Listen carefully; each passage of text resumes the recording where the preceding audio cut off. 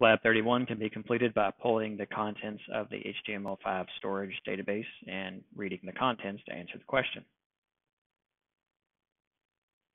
We're going to use the echo page for our cross-site scripting. This page is very easy to do the cross-site scripting on, so it makes for good demos. If we click on hints and Videos, we'll get a starter script and work off of that. We click on cross-site scripting, search for HTML5, and that'll take us to a few different scripts that we can use. We'll just take the one that's marked as intermediate, copy that, and we'll check and see if we need to make any changes to it, which should be minimal. We see that the script starts out by declaring variable L for window.local storage table, and then it iterates through each row in the table and adds that information to the variable M then it declares a variable S for the session storage, does a similar loop to move the information from that table also into the variable M, where it just continues to add on to that variable, making it longer.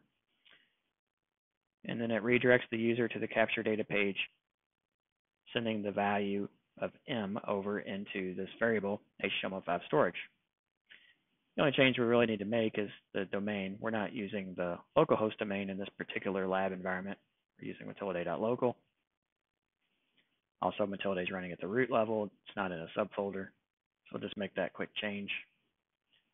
Go back over to the site.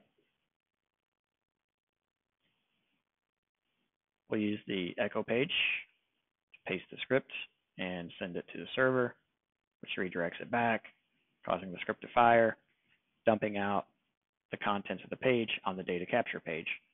If you want, you can use the view capture data utility in Matilda to view this in a tabular form, but still going to look pretty similar. And so in here we have all the different contents of both of the tables and down towards the bottom you can see that Chuck Norris counted to infinity twice This is the second to last row. So we go back over, select twice, and that turns out to be the correct answer.